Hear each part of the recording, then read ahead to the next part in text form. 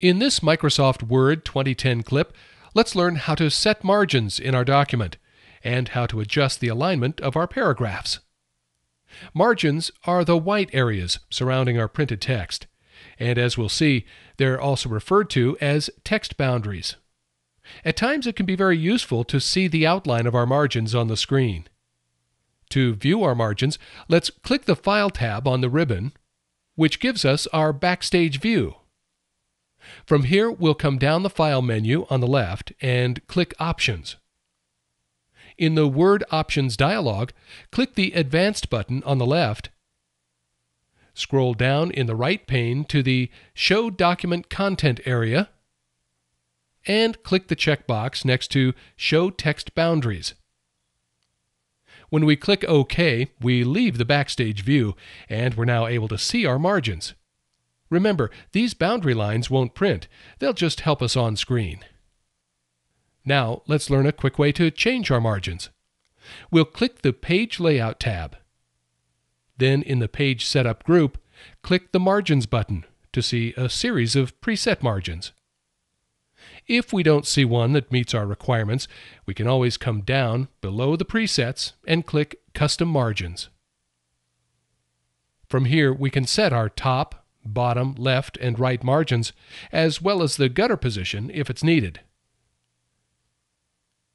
And we see here that our changes will be applied to the entire document as we click OK. Next, we'll learn to adjust the appearance of our document by making changes to the alignment of our paragraphs. Paragraph alignment is nothing more than choosing which of our margins the text lines up with.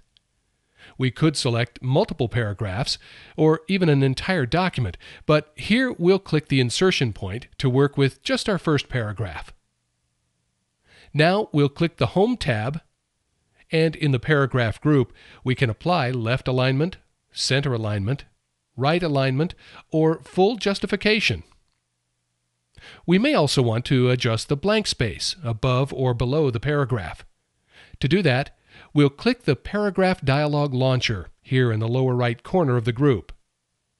In the Paragraph Dialog's Indents and Spacing tab, we get a handy preview window to help us visualize any custom selections we make. Let's click OK to see our changes in the document. We can also set our indents and spacing from the ribbon itself.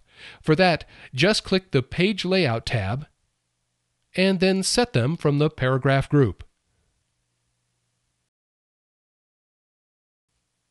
There we go. We've learned in this clip how to see and set our margins and align our paragraphs for a clean, easy to read document.